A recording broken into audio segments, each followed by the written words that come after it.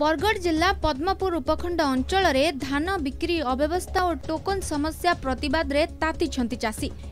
ଏହି ପରିପ୍ରେକ୍ଷୀରେ ପଦ୍ମପୁର ଉପଜିଲ୍ଲାପାଳ କାର୍ଯ୍ୟାଳୟ ସମ୍ମୁଖରେ ସାତ ଦିନର ଅନଶନ ପରେ ଚାଷୀମାନେ ଉପଜିଲ୍ଲାପାଳ ଓ ତହସିଲଦାରଙ୍କ କାର୍ଯ୍ୟାଳୟ ସମ୍ମୁଖରେ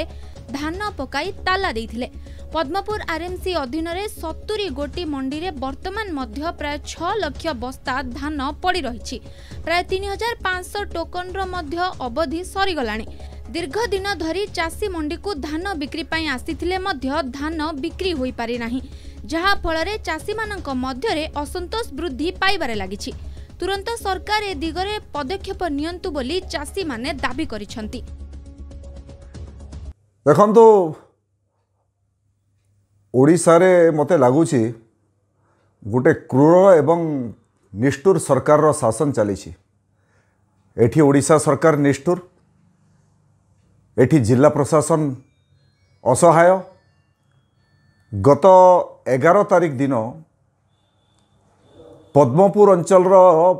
ଚାଷୀମାନେ ଯେଉଁମାନଙ୍କର ପାଖରେ ଟୋକନ୍ ଅଛି ମଣ୍ଡିରେ ଯେଉଁମାନେ ଧାନ ପକାଇଛନ୍ତି ମାସାଧିକ କାଳ ହେଲା ଧାନ ପଚିଶଟି ନଷ୍ଟ ହେବାରେ ଲାଗିଛି ମଣ୍ଡିରେ ଧାନ ଉଠୁନଥିବା କାରଣରୁ ପାଖାପାଖି ଚାଳିଶଟି ଟ୍ରାକ୍ଟରରେ ଚାଷୀ ଧାନ ଆଣି ଉପଜିଲ୍ଲାପାଳ ଅଫିସ୍ ସାମ୍ନାରେ ଗଦା କଲେ ଏଗାର ତାରିଖରୁ ଆଜି ପର୍ଯ୍ୟନ୍ତ ନା ପ୍ରଶାସନ